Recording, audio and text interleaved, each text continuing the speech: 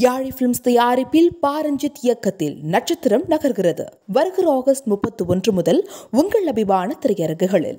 Seven screen studio Lalith Kumar தயாரிப்பில் ஜியான் விக்ரமின் அசத்தலான நடிப்பில் கோப்ரா வருகிற ஆகஸ்ட் முப்பத்தி ஒன்று முதல் உங்கள் அபிமான திரையரங்குகளில். இரட்டையர்களாக அறிமுகப்படுத்துகிறார் நான் ஒரு காலத்தில் கிருஷ்ணன் பஞ்சுன்னு ஒரு கேள்விப்பட்டிருப்பீங்க. ஒரு சிலருக்கு தெரியாமல் இருக்கலாம். சிவாஜி அவர்களை அறிமுகப்படுத்திய கிருஷ்ணன் பஞ்சு.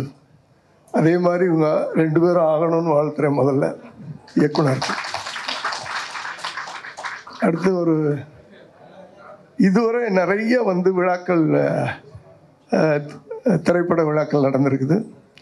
வந்த இயக்குனர்கள் அத்தனை பேரையும் ஒன்றா உட்கார வச்சு ஒரு ஸ்டில்லு வந்து என்னமோ சொல்லுவாங்கள்ல சில அரிய அரிய புகைப்படங்கள்னு சொல்லுவாங்கள்ல அதே அது வந்து ஒரு நல்ல ஏன்னா சினிமாவில் பெரும்பாலும் வந்து நம்மெல்லாம் வந்து சென்டிமெண்ட் ஃபூல்ஸ்ன்னு சொல்லுவோம்.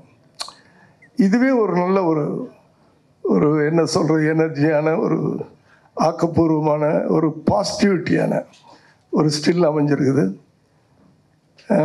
மற்றபடி தம்பி இந்த படம் கனிஷ்கா விஜய் கனிஷ்கா. ஒரு நிறைய காரணங்கள் இருக்கும். ஒரு படம் வெற்றியடையும் அப்படின்றதுக்கு பல காரணங்கள் இருக்கும். அதில் முதல் காரணம் வந்து விக்ரமன் சார். ஒரு சினிமாவுக்கு வரும்போதே ஒரு காதலில் இப்படிலாம் சொல்லலாம் அப்படின்னு ஒரு புதிய வசந்தத்தோடு வந்தவர். அடுத்து இப்படி கூட சொல்லலாம். விஜய் அப்படின்னு இன்னைக்கு சன் தளபதின்னு சொல்லப்படுகின்ற விஜய். அந்த விஜய் அப்படின்ற ஒரு நடிகரை பற்றி சொல்லும்போது பூவே உனக்காக அவர் வாழ்க்கையில் மறக்க முடியாது.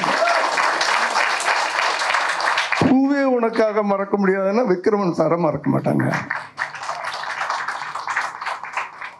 அப்படியாப்பட்டவருடைய வாரிசு திரையுலகத்தில் நிறைய வாரிசுகள் வந்து வெற்றி அடைஞ்சிட்டு வர்றாங்க.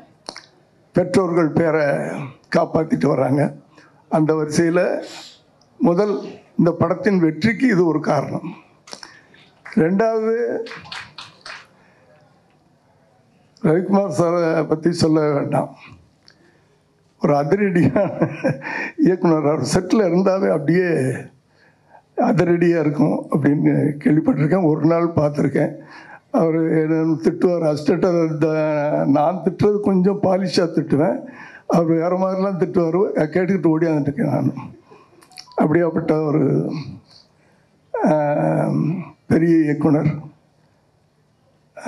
நாட்டாமை. இங்கே ஒரு படத்தில் ஒரு நாட்டாமே இருக்கிறார் இங்கே ஒரு நாட்டாமே இருக்கிறார்.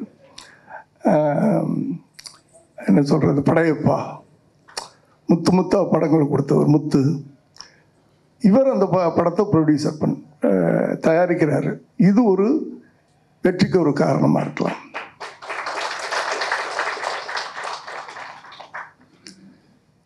அடுத்து இப்படி ஒரு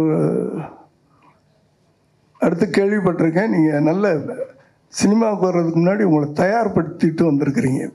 சரி இன்னாருடைய சன்னு அப்படின்னு வந்துடாமல் தயார்படுத்திட்டு வந்திருக்கிறீங்க. நான் விஜய் அவர்கள் நடிக்கணும்னு ஆசைப்பட்டப்போ ஒரு ஆறு மாதம் நாலு மணிக்கு அவரை எழுப்புவேன். பீச்சு கூட்டிகிட்டு போவேன். மாஸ்டர் ஜாகுவார் தங்கம். அவர் தான் வருவார். குதிரையில் சவாரி பண்ணணும். குதிரையிலேருந்து கடலில் குதிக்க சொல்லுவார். அவர் குதிப்பார். இப்படி ஆறு மாதம் நாலு மணிக்கு எழுப்பி ஆறு மணி வரைக்கும் ப்ராக்டிஸ் பண்ணுவார். அப்படி அப்படி தயார்படுத்திக்கணும் தன்னை. இவங்கெல்லாம் இருக்கிறாங்க இதனால் நம்ம வெற்றி அடைஞ்சிரும் அப்படின்றது முதல் படம் வெற்றி அடைஞ்சிடணும். ஏன்னா இந்த காரணங்கள்லாம் சொன்னேன்ல. நிச்சயமாக என்ன அடுத்து ரெண்டு இளம் இயக்குநர்கள். அது ஒரு காரணம்ல. ர- ரவிக்குமார் சார் ரொம்ப கிளவராக பண்ணுறாரு ஏன்னா இன்னைக்கு ஜென்ரேஷன் அந்த ஜென்ரேஷனோட ஜென்ரேஷன் இதே ரவிக்குமார் சார் டைரக்ட் பண்ணால் செட்டில் நீ மிரண்டுருவ இல்லையா? இங்கேயே மறந்து போய் தான் உட்காந்துருக்கியா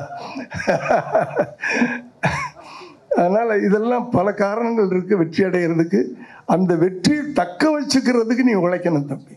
அதுதான். இந்த வெற்றியை தக்க வச்சுக்கிறது கடுமையாக உழைக்கணும். இது இது வந்து- இது வந்து சாதாரண போட்டி இல்லை சினிமாவில் இப்போ ஜெயிக்கிறது. ஜெயிச்ச பிறகு தக்க வச்சுக்கிறது இன்னும் இன்னும் கடுமையான போட்டி. நல்ல டைரக்டராக செலக்ட் பண்ணி உன்னை செதுக்க வைப்பாங்க. அது அது அந்த அனுபவம் உனக்கு சாருக்கு சாருக்கும் இருக்குது அப்பாவுக்கும் இருக்குது நல்ல நல்ல இயக்குனர்கள் இப்போ ஒரு நடிகனை செதுக்கிறதே வந்து இயக்குனர்கள் தானே.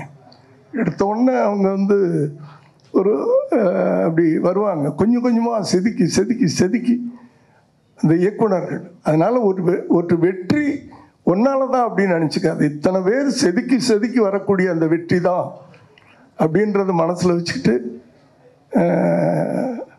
வாழ்த்துறேன். நிச்சயமாக இந்த ஒரு நல்ல விஷயங்கள்லாம் நடந்திருக்கு. God bless you god bless இன்னமும் பட்டித்துறை பாண்டியன் தான் என்னை கேட்பாங்க. அந்த பட்டித்துறை பாண்டி நடிச்சாங்களா? அந்த அம்மாவை கூப்பிடுந்தா எந்த ஒரு சீரியலுக்காகட்டும் படத்துக்காகட்டும் அப்படி தான் கூப்பிடுவாங்க. என்ன ஐம்பது ரூபாய் தரேன். அவரு கூட வந்து கேரக்டர் எல்லாமே அது அந்த பேக்ரவுண்டில் போனப்போ தான் பண்ணேன். அப்புறம் ஒரு மானிட்டு பார்த்தாங்க ஒரே டேக்கு தான். போட்டு பட்டை கலப்புன்னு அவரே உண்மைக்கே அடிக்கிறாடாடே நிப்பாட்ட சொல்லுறேன் இந்த கறி பிரியாணி எல்லாம் கொடுத்து வீட்டுக்காரனை விரட்டிக்கிட்டு இருக்கான்.